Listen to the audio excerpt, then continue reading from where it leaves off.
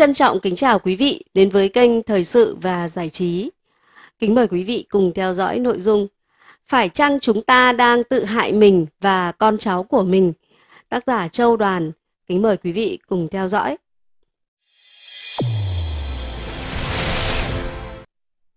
Trong khi nhiều nước trên thế giới đã cam kết thoái vốn về nhiệt điện than và nhiều nơi đã bỏ hẳn nhiệt điện than, thì Việt Nam vẫn còn 8 nhà máy nhiệt điện sẽ được xây dựng.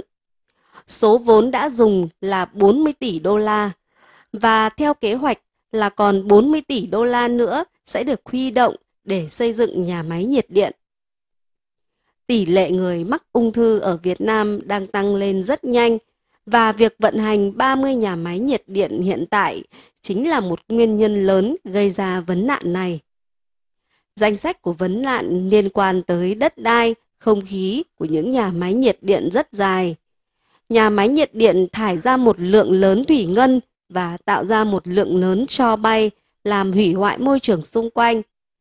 Ba chất gây ô nhiễm chính từ các nhà máy nhiệt điện than là dioxide lưu huỳnh, oxit nitơ và các dạng chất hạt vô hình PM10 hoặc là PM25.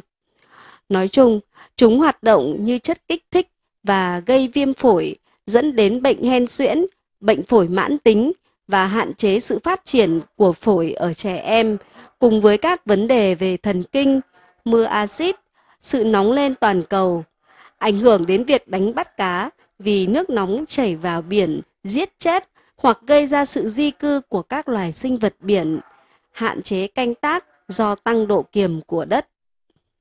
Cho than nguy hiểm vô cùng bởi nó chứa một số độc tố nguy hiểm nhất trên trái đất như arsen, trì, thủy ngân, cadmium, chrome và selen. Tiếp xúc với cho than trong thời gian ngắn có thể gây ra kích ứng mũi và cổ họng, chóng mặt, buồn nôn, nôn mửa và khó thở. Tiếp xúc lâu dài có thể dẫn đến tổn thương gan, tổn thương thận, rối loạn nhịp tim và nhiều loại bệnh ung thư.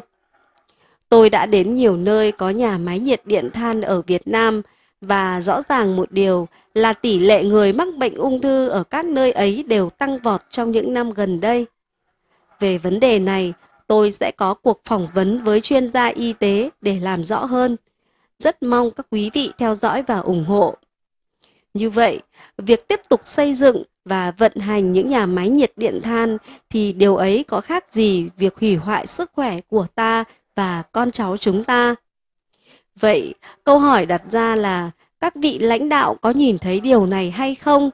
Và nếu nhìn ra thì tại sao họ không bẻ lái để con tàu năng lượng đi cùng hướng với những nước văn minh? Tôi tin là họ nhìn ra, nhưng vấn đề này thường rất phức tạp và khá là nhạy cảm. Để giải quyết những vấn đề phức tạp thì cần sự tham gia của các chuyên gia, những hoạt động môi trường quốc tế, những nhà lãnh đạo có tâm, có tầm, có đủ trí tuệ để tránh những bẫy tài chính do người anh em to xác răng ra. Khi Nhật Bản, Hàn Quốc đã cam kết ngừng cấp vốn cho các nhà máy nhiệt điện vào tháng 4 vừa rồi, thì Trung Quốc vẫn rất nhiệt tình cấp vốn cho bất cứ nơi nào có nhu cầu. Lý do đơn giản là bởi Trung Quốc đang muốn rũ bỏ công nghệ nhiệt điện than. Và như vậy thì thiết bị ứ thừa phải tìm cách đổ rác công nghệ tới bất cứ nơi nào có gà. Khi Trung Quốc cho vay vốn thì đương nhiên họ sẽ là tổng thầu. Hàng ngàn công nhân, kỹ sư sẽ có việc làm. Và đương nhiên, điều quan trọng nhất là rác thải công nghệ sẽ có chỗ để đổ. Sự việc cái đường sắt trên cao ngay ở thủ đô có hơn một chục cây số mà đội vốn khủng khiếp là một minh chứng cho thấy sự chầy bửa của những người anh em Trung Quốc và cả sự non dại vô tình hay là hữu ý như con gà con của một số quan chức chịu trách nhiệm về dự án này ở Việt Nam. Từ xưa đến nay, trên thế giới có các dự án hợp tác nào với người anh em to xác này mà mang lại điều tử tế đâu. Do vậy là những người dân, chúng ta có quyền đề phòng, cảnh giác với những dự án nhiệt điện than có vốn từ Trung Quốc. Đừng nhìn vào mấy con đường to, mấy tòa nhà cao tầng, mấy bữa cơm có thịt cá, rồi đánh giá Việt Nam chưa bao giờ được như ngày hôm nay. Hãy nhìn vào những con số liên quan tới môi trường, tới tỷ lệ ung thư đang tăng lên một cách chóng mặt, rồi hãng quyết định là chúng ta có đi đúng hướng không và có đáng tự hào hay không. Khi ô nhiễm môi trường, người dân lao động sống gần những nhà máy nhiệt điện là những người đầu tiên phải chịu hậu quả, rồi tới mọi tầng lớp trong xã hội. Khôn ngoan mấy thì cũng vẫn phải hít thở một bầu không khí, tiêu thụ cùng một nguồn nước.